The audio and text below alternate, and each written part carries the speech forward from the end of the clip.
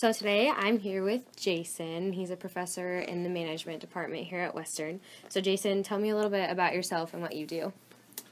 All right. Um, so I've been at Western about nine years, ten years, and uh, my background's in psychology, um, organizational psychology. So uh, the simple way to put it is I, I think of myself as the, you know, I'm in management, I'm in business, but I'm really I'm uh, focused on the people side of business, and the courses that I teach and the research that I do is all related to um, people and their psychology and relationships and the interpersonal aspects of work and working life and organizational life. Um, and uh, I have done some teaching on topics of diversity. We have a class uh, on managing cultural diversity, and it's through teaching really that I've gotten more uh, plugged into the, the, the, topics of social justice and, and diversity. Great. Um, so, what does social justice mean to you?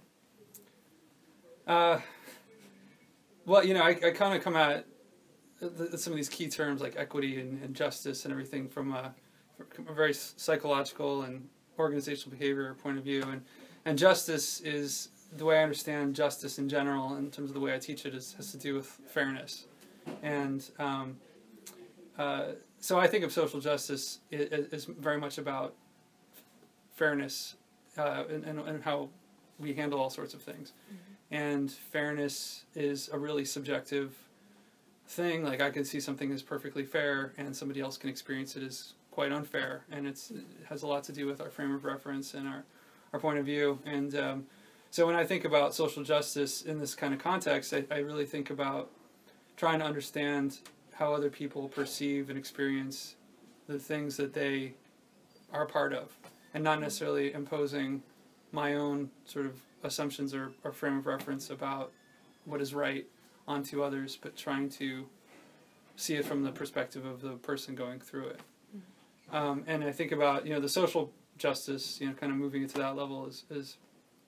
Um, and I don't have a very clear thought on this, other than I, I see it as, as kind of like a, uh, a way for people to a, a, a, domain in which we're really thinking about all aspects of how we engage with each other and and uh, uh, sort of informally and formally you know? As, as an organizational uh, scholar you know, i'm really interested in the system and how the people interact with the system and, and, and how they influence it and how the system shapes them. And so I, I pay a lot of attention to how these systemic and institutional and all of those kinds of forces uh, are shaped by and shape the individuals within them. Mm. And uh, the social justice with respect to that is about, um, you know, kind of examining, which I don't do in my own research, but uh, thinking about how the how the systems have been created and how they play out and how different people. The part that I'm really interested in is how different people experience those things and, and really understanding the individual experience. Great. So, how do you promote social justice in your daily life? Uh, well, you know, I should say, honestly, probably 10 years ago, I didn't even really think about it. I mean, I probably thought about social justice if I was asked about it as, well, yeah, I mean, that seems important, and I would say that I value that. Um, but I don't think I've really thought about it in my daily life. I think I, I just assumed that I was contributing to social justice because I don't do anything bad. You know, I can't couldn't really see myself as as as being uh, biased. I mean, you know, I know that, and, but as I've gotten more into psychology, I've come to realize, oh no, you know, it's just because I, I don't really, oh, I'm not very cognizant of my biases. A lot of things I take to be normal or true or are, are really just perspectives and assumptions that that that are based on my my frame of reference and and don't really consider the fact that what what's normal for me is, is quite unusual for many others, mm. and, and, vice versa. Um, and so, you know, over the years, as I've taught in the subject and dialogue with students and try to get more involved in, in, in realizing what there is to understand here, you know, both as like an academic, but also just as a person, mm. um, I've started to really try to, as much as somebody like me can. You know, I'm a, I'm a white heterosexual male. Um, you know, from a relatively privileged upbringing. You know, I mean, I have a, lot of things lining up for me identity wise that that um,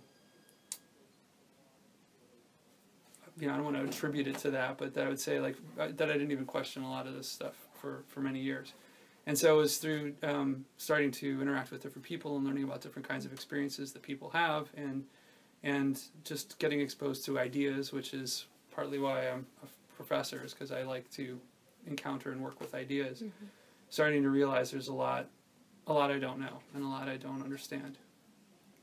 Um, so I do think I do work in social justice now, even though I don't really always label it that way.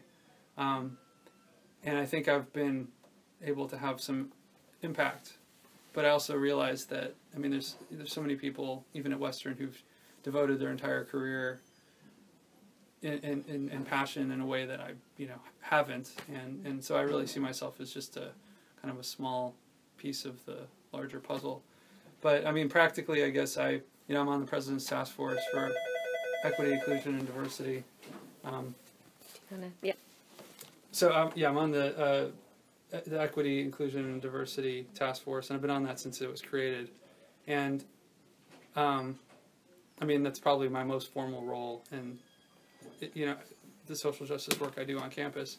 Um, and I was, uh, frankly, I was really surprised and grateful and honored to be asked to be on it in the first place. I, you know, it, the fact that people on the campus thought that I was a a good, sort of an, an, obvious for some people and a good choice to, to do that was great. And um, I feel that I've uh, tried to take it really seriously and, and, and do good work on that group.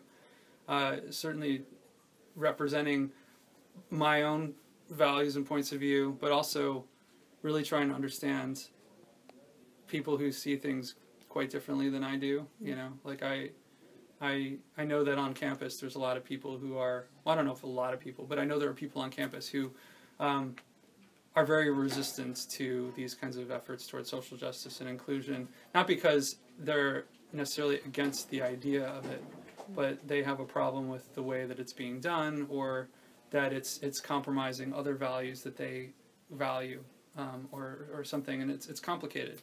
Um, people who, who think of themselves actually as quite liberal and open minded and, and and not you know str- they're struggling with this and they can be really resistant to it. And so i've tried to understand and represent that point of view even though it's not one that i share and try to find a way to engage or be in the middle of that. And mm-hmm. and and I, I, think there's a lot more I could do in that respect. And I've, I've been thinking lately about how I can do that more um, just in my own day to day with with the people that I encounter and have different points of view. And how do I how do I engage a, healthy conversation with those people about it mm-hmm.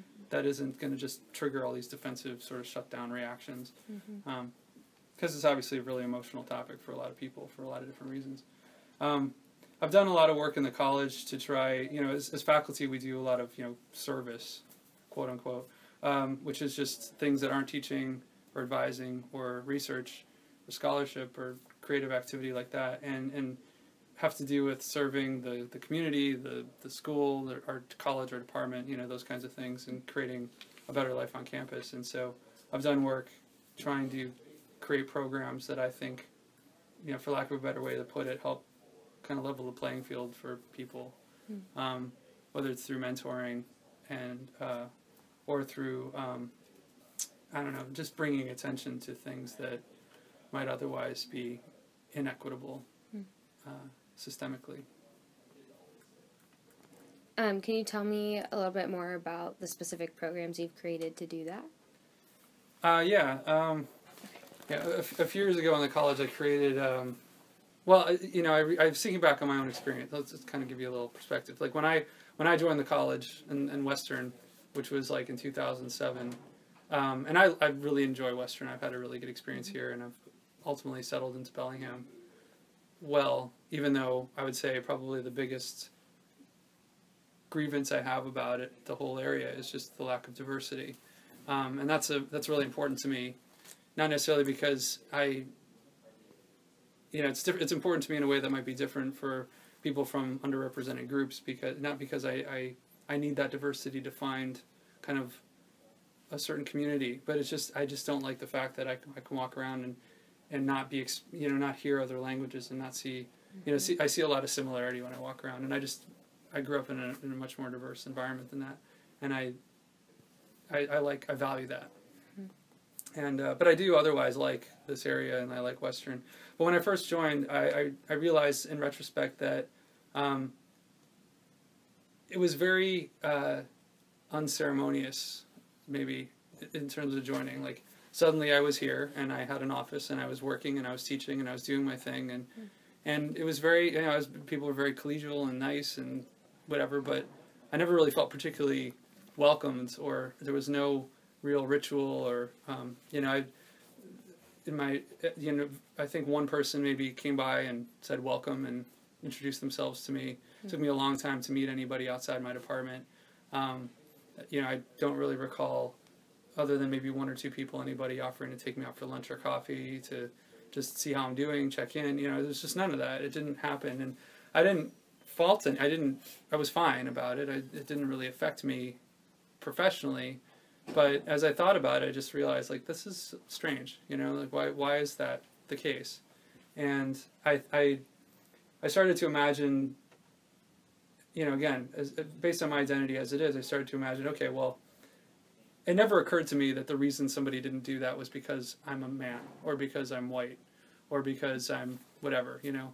It, it just didn't even dawn on me. I just I just immediately attributed it to what's going on here. It's weird that people didn't do that. I didn't take it personally. Um, but then it, it, started to occur to me like, well, I, I would imagine that if, if my identity was different, that I might question that. You know, could it be that it's because I'm gay that somebody didn't, that, that I've, I'm being excluded somehow, or mm-hmm. because of the color of my skin, or because of my ethnic background, or whatever. And and those kinds of questions just never even entered my mind. And and, and yet I could really start to imagine how those questions would enter the mind of somebody who has, you know, been used to or has extensive experience with that kind of prejudice and judgment mm-hmm. and exclusion. And I think it was that realization which I don't exactly know what made me think that way, but when when I started to think that way, I just had this like big aha experience to start to see how different people's experiences of the same thing could be mm-hmm. and how it's just you know institutionally i felt that it's irresponsible of the institution to not be sensitive to that mm-hmm. and again i don't fault any person for it it's nobody did anything but it's it's just that's just how it was and and I just didn't think that was right. I said you know to my mind that should not happen. Mm-hmm. There needs we need to be more proactive in making sure that that doesn't happen.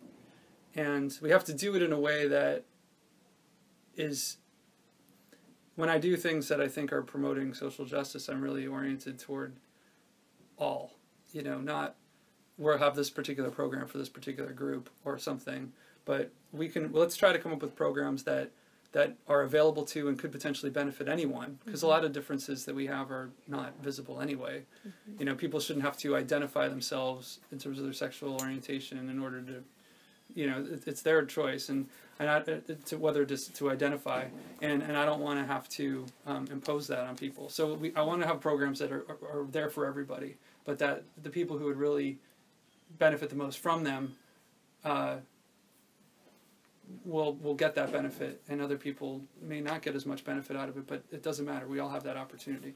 Mm. So one of the programs that I created was just, uh, for lack of a better term, just a, sort of a, an orientation program for new faculty. Mm.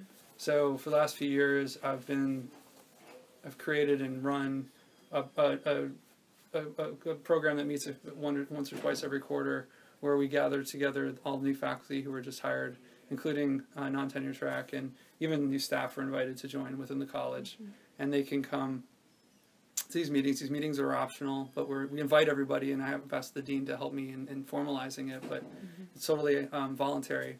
And we try to focus these sessions on one, you know, building community among the new people so that they get to know each other, and uh, two, helping them feel valued and acknowledged. You know that we know that they're new, and we're making that effort to reach out to them and then three, giving them useful information that I think is the kind of like the tacit information that you pick up over the years and it's helpful, mm-hmm. but nobody sits down and tells you mm-hmm. tells you it. You know, just and there's a ton of that kind of stuff. I mean, this, in any organization, there's a lot of like the ropes, you know, people call it.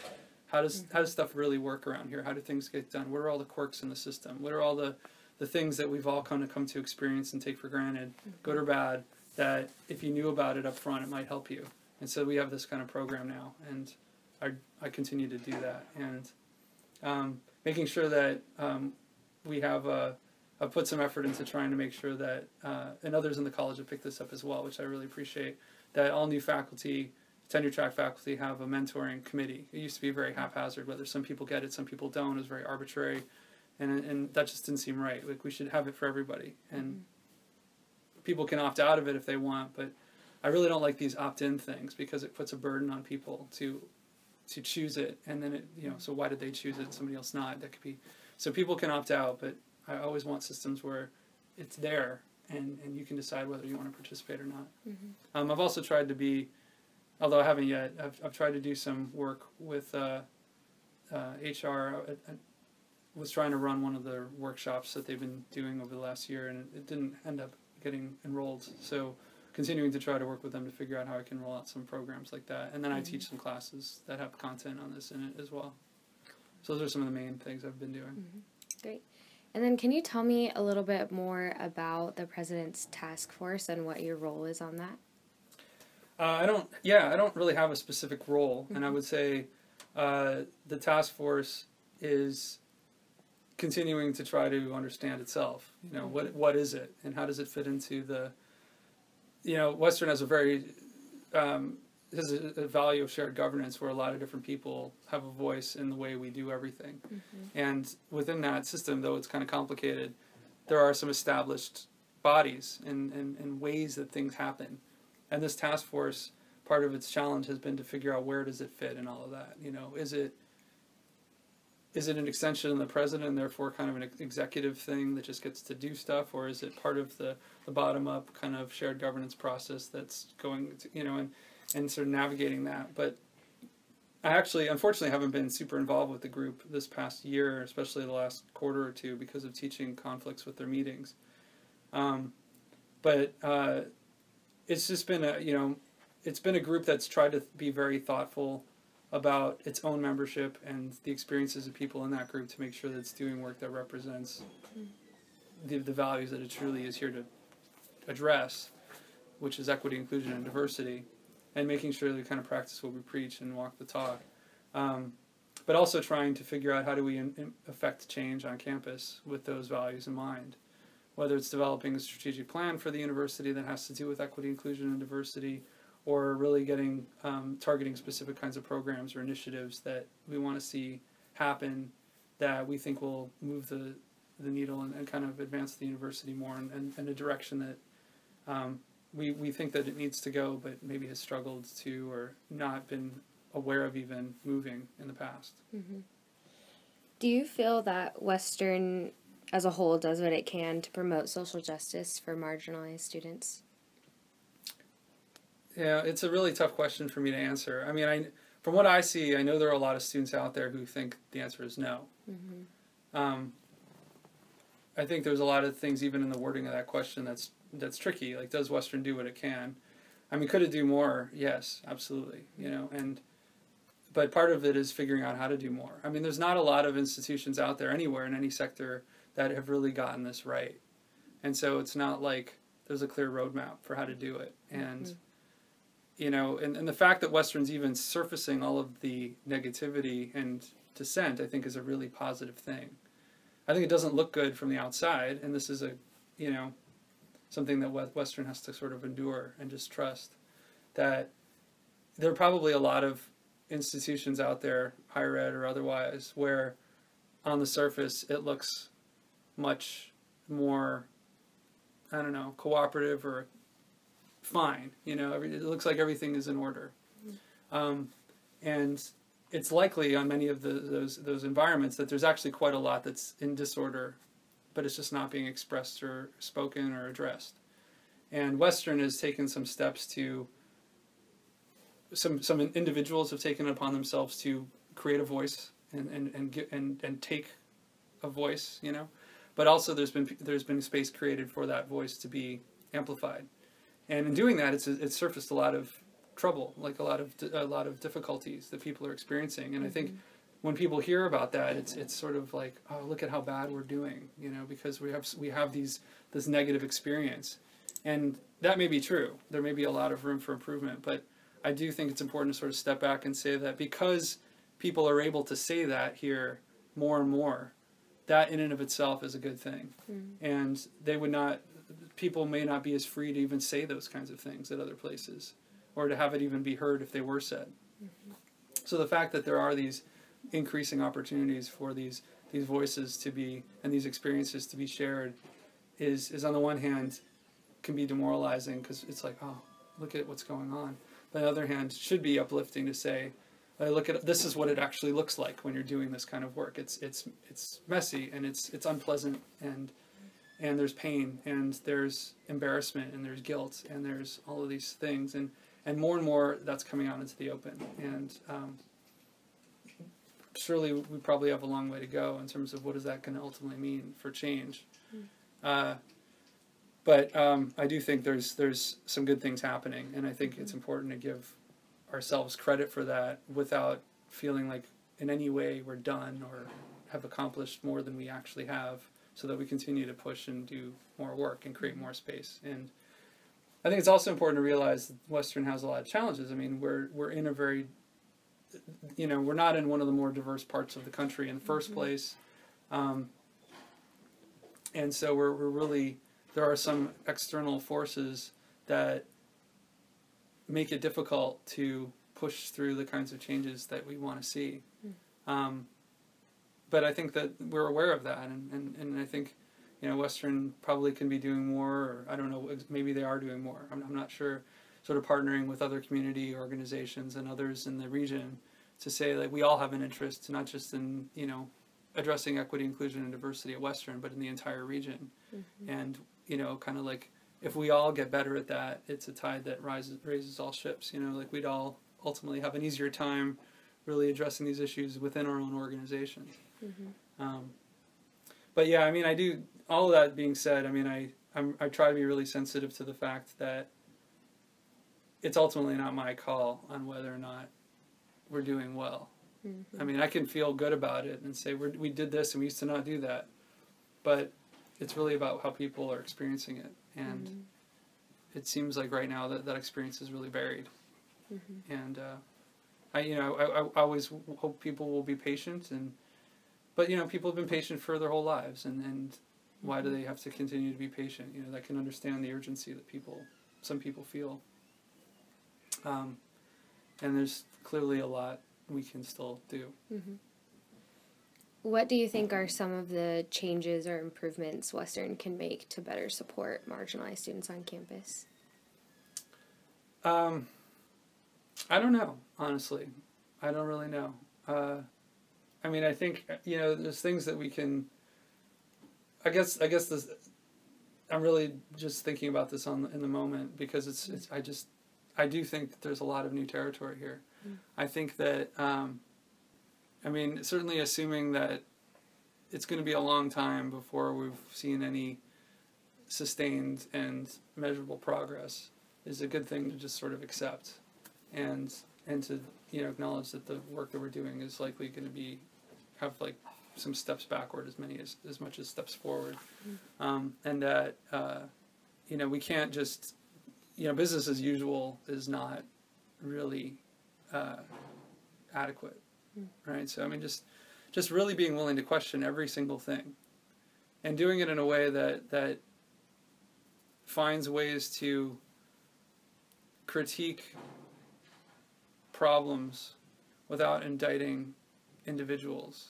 Um, I mean, there may there may be malicious people anywhere, you know, but I think a lot of what happens here is this more um, passivity and and and naivete about what's really going on, and and people are really resistant to to questioning themselves and to looking at themselves and to wondering how they might be part of a problem and not and, and surely i mean i'm still i'm part of that too i'm not trying to put myself above that you know uh, i think it's it's often that i'll recognize something that i do or that i've, I've done or that i'm participating in and, and saying like oh, is this really is this really doing what I what I value and Mm. is it worth re-examining this? But finding the problems is one thing, and then figuring out how to solve them is totally different. And I, I Mhm. frankly don't know how to how to do it. Yeah. Um, I just, uh, you know, I think continuing to try to work at it is, is good. I think the, the the bringing kind of this this awareness is is really important. That we're at least getting on more and more people's radar to even question these things and to really Mhm. step back and look at it. And, um, but uh, yeah, that's Mhm. really all I can say at the moment. Yeah.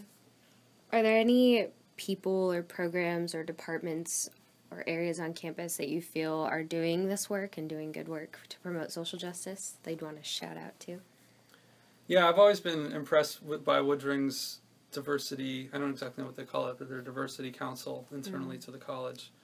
Um, you know, and I think that uh, uh, that's just as an as an entity, a very important body. Mhm. Um, I don't know details about what they do, but the fact that the as a college they have a body that is dedicated to this is really important and I would love to see ultimately something like that happen in our college too. And I think I don't know what it will take for that to happen, um, but it's certainly something that I think about. Uh, you know, I mean, I think that there's there's there are some really remarkable people who've done really great work on campus. Like I, you know, I know I know the, like Nick Sanchez pretty well in, in human resources, and he's done some really great work um, rolling out different kinds of programs. I mean, I really value all the individuals on the task force that I've worked with.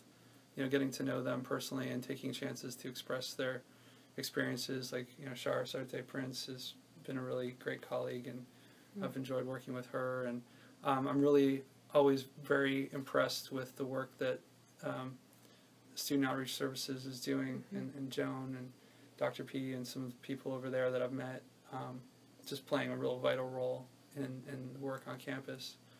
I mean, um, I don't, you know, Damani Johnson, and he's just he's just an extraordinary individual. So I felt really fortunate to, to get to know him a little bit. Um, and yet, you know, I still kind of feel like, not in a bad way, but just I feel like I'm very much on the periphery of all this. You know, really, I can kind of look at it from the outside and saying, wow, these people, this work that they're doing is really great and extraordinary. Um, even, you know, Equal Opportunity Office and, you know, Laura Langley, uh, I know better than the others, but I've worked a little bit with Sue. I mean, I just think there's there's people that are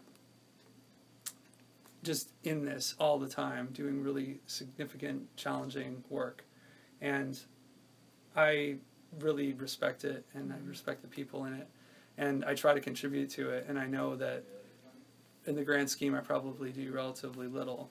Mm. Um, so it's it's like I don't really know uh, what I don't really know the depths of it. Mm. Uh, just like I don't really know the depths of the experience. I, I actually think I mean that's kind of one of the challenges is is academics and I don't want to generalize, but I, my my sense is that you know academics are you know we're, we're very we're, you know we do research and we do like we, we creative output and, and and we want to understand things so we can teach it to somebody else. And we're talking about things here that that certain people really can't understand. Like no matter how much i can intellectualize about it there are certain things i just won't know. I don't know what it's like to grow up you know um, with a marginalized identity. I cannot know what that's like. I can read about it. You know i'm really glad to see the um, between uh, between the world and me being chosen as the western reads book uh, uh, for next year. Is I think that's the title. I actually read it recently, and it's, again, it sort of blows me away, and I, I learn a lot from something like that. I I try not to intellectualize it too much and try to really, you know, empathize with it. Um, but I know that there's only so much I can do, not having had those experiences, and and I just have to trust that. Which is not something I guess academics might be used to doing, but is trust that just because I don't get it doesn't mean it's not happening. Mm-hmm. And just because I can't really relate to it or I can't put it in terms that are going to truly connect with emotionally that it's not you know, I have to I have to learn how to trust the experience of somebody else and say like they're what's happening to them is real even though I don't totally there's there's limits to what I could ever really fully understand about it. So you know you can see I mean I'm not maybe saying this really clearly, but it's this is kind of one of the places where I'm at right now and really thinking about that is mm-hmm. to to recognize the limits of what's possible for me and still being very supportive and and proactive even mm-hmm. in advancing work that I'm I know is important because it's important to others. And it's important to me too values wise but it's just important to me in a different way. And uh, and and and somewhat being disconnected from it to a mm-hmm. degree because I just cannot be in it in the same way. Do you have any advice for students who want to promote social justice on campus? Or faculty or Yeah. professors, yeah. It's tough. I mean, I was I was thinking about like the the group that put out that really bold proposal, you know, that that has been gotten a lot of attention in different outlet media outlets and things like that. I mean, you know, I don't, you know, it's like I don't. That's a group that I don't know how to speak to because, it's, again, they're coming from a very different place than I am. You know, trying to be agitate and, and challenge the system. I mean, on the one hand, I'm always I always try to tell people you have to kind of work within the system in order to change it. But then on the other hand, like, what do I know about social change and that kind of thing? It's not. I don't know anything about it. So, um, I do think. Uh, I do think we have to strike a balance between recognizing what we currently do and what we want to be doing, and and uh, you know, anytime you try to change something, there's somebody who's going to take it personally. That like, not necessarily because they're losing their privilege, although that could be, but also because it's like somebody developed that, or somebody somebody has something invested in the way of doing it that way, and and um, and there are merits to doing things certain ways, like kind of the bottom up process by the way budgeting is done or things like that. There's there's a lot of value in that, even though that also creates certain barriers and obstacles for certain kinds of urgency and initiatives, and and um, and so there's a there's a lot to reconcile here. It's it's to me it seems it's not simple, you know. It's just it's very complicated, and um, there are a lot of values that kind of get pulled into the conversation, like academic freedom or social justice, and they can almost feel like they're at odds with each other, even though I think a sensible person would acknowledge both of them as critically important. And uh, and you know, I'd like to see us do better at trying to to reconcile these things. Um, that's not really very practical advice, but I just I think like engagement and dialogue is really important. And um, again, like I think there are maybe people who feel this kind of impatience and this urgency, which I, to- I think is totally understandable. But you know, if somebody comes into Western sort of bringing a lot of uh, a lot of that impatience and a lot of that urgency because of their experiences outside of Western, and even maybe beginnings of some of their experiences at Western, you know, still recognizing that like we're, we're trying. We I don't know who we are, but like as a there's a lot of people here who are trying, and you know let's I don't know let's kind of re- realize I guess the uh, where where we as an institution are at relative to where everyone else is at because you know we operate in this broader society and you know being willing to challenge the fact that we're not necessarily doing it a whole lot better than anybody else. But we're also not really it's not clear that we're a whole lot worse than anybody else either. And where are we doing well? And what can we build on? You know I'm, I'm, mm-hmm. i am kind of a, a proponent of this idea of appreciative inquiry where yeah there are problems but there are surely there are things that we do well Mm-hmm. in any domain. And people it, there's more energy connected to the positive than there is to the negative. I mean there's there's some negative energy connected to the negative that can be really destructive. So like how do we look at what we do and know that we need to do better but know that we're also surely have some things we can build on? Mm-hmm. And and be willing to acknowledge that and not just sort of scrap the whole thing and start all over you know? Mm-hmm. I, I just think that there's got to be ways to build on things we're already doing to kind of get better. And so you know it's like i tell i would tell this to a student in or anybody in you know in, even in like a doctoral seminar or something like it's, it's easy to take somebody's paper their research and look at it and find what's wrong with it. Hmm. But what's right about it? You know what's good about it? Like how do it, it's not totally awful you know? I mean there's surely something about it that's redeeming. Mm-hmm. And i just think we kind of get into this whole mindset of like challenging and dis- destroying and undermining everything.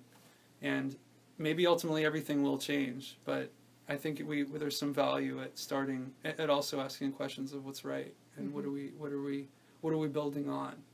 And what's go- what do we have going for us right now, and and putting things in, in a broader perspective in that sense. So I guess that's that's where that's a piece of advice I would offer. Um, again, it's not like very concrete, but um, pushing for change, but valuing and, and being willing to acknowledge these glimmers of, of opportunity and and and and goodness in what we're already doing. Mm-hmm. Great. Well, thank you so much for sharing your perspective with me. I appreciate you Sure. letting me interview you. Yeah, it's my pleasure.